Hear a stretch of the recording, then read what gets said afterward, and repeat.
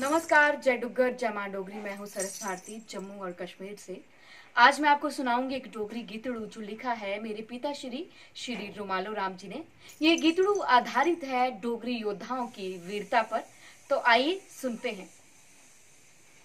अस डोगरे सूर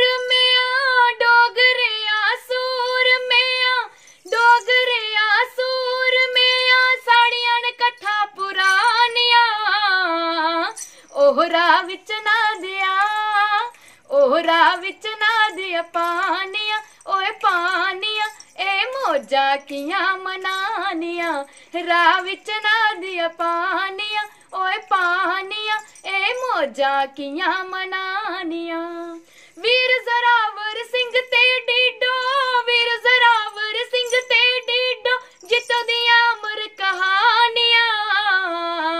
ਉਹ ਰਾਹ ਵਿੱਚ ਨਾ ਉਹਰਾ ਵਿੱਚ ਨਾ ਦਿਆ ਪਾਨੀਆਂ ਓਏ ਪਾਨੀਆਂ ਏ ਮੋਜਾਂ ਕੀਆਂ ਮਨਾਨੀਆਂ ਹੋਰਾ ਵਿੱਚ ਨਾ ਦਿਆ ਪਾਨੀਆਂ ਓਏ ਪਾਨੀਆਂ ਏ ਮੋਜਾਂ ਕੀਆਂ ਮਨਾਨੀਆਂ ਗਿੱਤੜੂ ਗਾਣੇ ਕੁੱਡ ਵੀ ਨੱਚਣਾ ਗਿੱਤੜੂ ਗਾਣੇ ਕੁੱਡ ਵੀ ਨੱਚਣਾ, ਲੰਮੀਆਂ ਪਾਖਾਂ ਲਾਨੀਆਂ ਉਹਰਾ ਵਿੱਚ ਨਾ ਦਿਆ ਉਹਰਾ ਵਿੱਚ ਨਾ ਦਿਆ ਪਾਨੀਆਂ ਓਏ ਪਾਨੀਆਂ ਏ ਮੋਜਾਂ ਕੀਆਂ ਮਨਾਨੀਆਂ ਰਾਹ ਵਿੱਚ ਨਾ ਦਿਆ ਪਾਨੀਆਂ ਓਏ ਪਾਨੀਆਂ ਏ ਮੋਜਾਂ ਕੀਆਂ ਮਨਾਨੀਆਂ ਜੰਬੂ ਨੇ ਜੰਮੂ ਸ਼ਹਿਰ ਬਸਾਇਆ ਜੰਬੂ ਨੇ ਜੰਮੂ ਸ਼ਹਿਰ ਬਸਾਇਆ ਕਿੰਨੀਆਂ ਔਰ ਸੁਨਾਨੀਆਂ।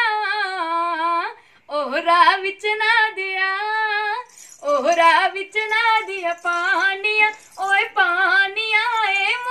ਮੋਜਾ ਕੀਆਂ ਮਨਾਨੀਆਂ ਹੋਰਾ ਵਿੱਚ ਨਾ ਦਿਆ ਪਾਨੀਆਂ ਓਏ ਪਾਨੀਆਂ ਏ ਮੋਜਾ ਕੀਆਂ ਮਨਾਨੀਆਂ ਰਾਹ ਵਿੱਚ ਨਾ ਦਿਆ ਪਾਨੀਆਂ ਓਏ ਪਾਨੀਆਂ ਏ ਮੋਜਾ ਕੀਆਂ ਮਨਾਨੀਆਂ ਜੈ ਡੁਗਰ।